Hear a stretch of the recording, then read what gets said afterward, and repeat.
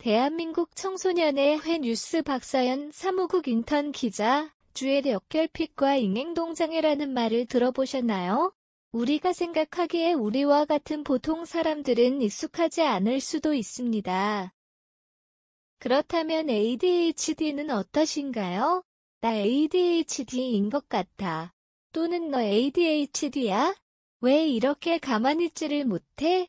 와 같은 말로 한 번쯤은 접해보셨을 것입니다.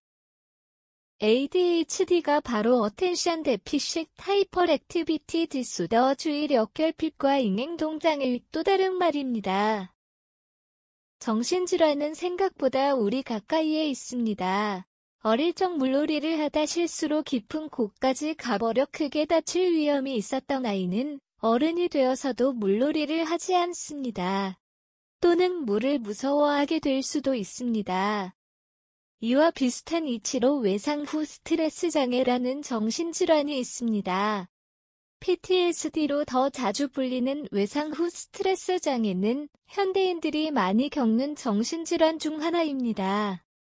그런데도 우리는 정신질환으로 인해 정신병원을 방문하는 것을 꺼립니다. 혹은 자신이 정신질환을 가지고 있는지 인식조차 하지 못하고 있는 경우도 많습니다.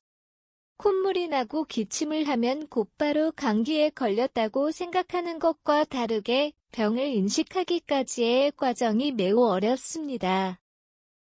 그런 우리에게 누구나 정신질환을 겪을 수 있다는 교훈을 알려주는 드라마가 있습니다. 드라마 정신병동에도 아침이 와요는 지난 11월 3일 넷플릭스에 공개된 12부작 드라마로 웹툰 정신병동에도 아침이 와요를 원작으로 합니다.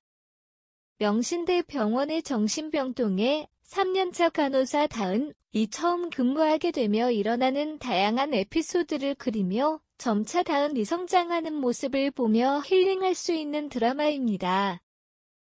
병동 안의 환자들부터 간호사들의 사들 그리고 병동 밖을 벗어나 치료받지 못하고 있던 주변 인물들까지 조금씩 다른 등장인물들의 이야기를 다루며 누구도 아프지 않아야 하는 사람은 없다. 라는 메시지를 전달합니다. 12개의 에피소드 중 가장 많은 사람이 눈물을 흘린 에피소드는 단연코 김서환의 이야기를 담은 에피소드일 것입니다. 서환은 몇 년째 시험을 준비해온 공시생으로 아무런 자격이나 시험도 없이 자신을 반겨주는 게임에 빠져 개인과 현실을 구분하지 못하게 되어 정신병동에 입원하게 된 인물입니다. 많은 사람이 서환에게 애정을 느꼈던 이유는 그가 개인과 현실을 구분하지 못하면서도 모두에게 상냥했기 때문입니다. 특히 그는 자신의 담당 간호사인 다은과 특별한 유대를 쌓았습니다. 다은이 다른 환자에게 3천만 원을 훔쳤다는 오해를 받았을 때는 자신의 개인 머니를 주며 이걸로 3천만 원 갚으세요. 라고 말하는 장면에서 알 수 있습니다. 이러한 유대관계를 라포르 형성이라 하는데 정신병동에도 아침이 와요는 라포르 형성의 장단점을 모두 보여줍니다. 끈끈한 라포르로 인해 서환이 퇴원할 때 다은 이에 알려준 자신의 개인 번호는 다은 이의 도와는 다르게 서환이 좌절감을 느끼게 합니다. 이 에피소드로 인해 다은은 우울증을 앓게 되고 정신병 앓는 정신병동 간호사라는 타이틀을 얻게 됩니다. 이 타이틀은 두 가지 방향으로 작용합니다. 첫 번째로 다은 스스로에게 나는 정신병동 간호사고 누구보다 정신병에 대해 잘 아는데 나 그만큼 아프지 않아. 라는 착각을 심어줍니다. 그리고 두 번째로 착각을 떨치고 회복 후 돌아온 다은에게 쏟아지는 환자 보호자들의 눈총입니다. 보호자들은 정신이 아픈 간호사가 어떻게 환자를 보냐며 매일 병원 앞에서 시위를 벌입니다.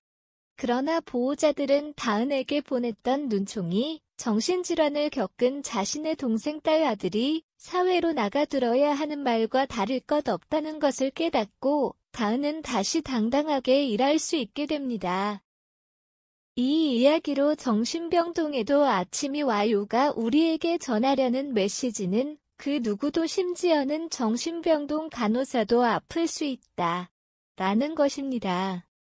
그리고 정신질환을 알았다는 사실은 그 사람이 사회에서 정당하게 누려야 할 것을 박탈당할 이유가 될 수 없다는 것. 절대로 우리와 멀지 않은 정신질환에 대한 따뜻한 위로와 공감을 얻을 수 있는 드라마 정신병동에도 아침이 와요입니다.